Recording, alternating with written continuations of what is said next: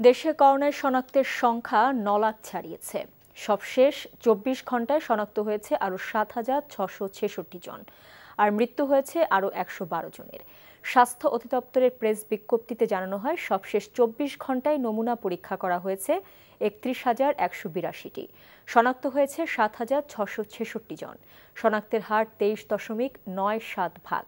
করোনায় একদিনে মৃত্যু হয়েছে আরও একশো বারো জনের। এ নিয়ে মোট মৃত্যুর সংখ্যা দাঁড়িয়েছে চোদ্দ হাজার তিনশো আটাশি জন।